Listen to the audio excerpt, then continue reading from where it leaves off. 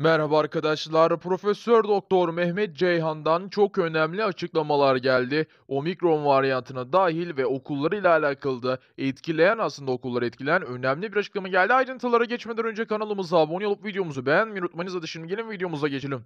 Yapılan açıklamalarda e, Profesör Doktor Mehmet Ceyhan bir ay içerisinde 3 defa omikrona yakalananlar var dedi.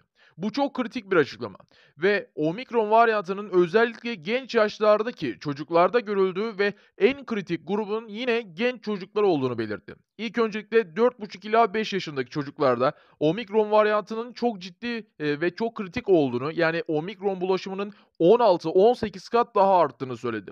Ve sadece 4,5-5 yaş ile bitmiyor. 5 yaş ila 18 yaş arasındaki e, çocuk grubu yani genç grubu da yine e, aslında tehlikede. Ve bu en fazla okulları etkiliyor. Çünkü baktığımızda, eee, 0-5 ila, eee, aynı şekilde 5 ila 18 yaş grupları, eee, okullarda zamanını geçiriyor. Yani gününün yaklaşık 8 saatini, bazı zaman 9 saatini, eee, bu çocuklar okulda geçiriyor. O nedenle okulda geçirilen zaman ile birlikte yayılım daha da artacaktır ve yayılımın daha da artmasıyla maalesef ki vakalarda çok daha artışlar ve özellikle okullarda çok daha hızlı sınıfların kapatılması, eee, başlanabilir. Yani önümüzdeki dönemde okulların eee, sınıfların kapatılması daha hızlı bir şekilde devam edebilir. Özellikle şunu söyleyelim, okulların, sınıfların kapatılması tabii ki okulların da kapatılmasını tetikliyor. Yani, eee, sınıflar kapanırsa okullar da kapanmaya başlanır.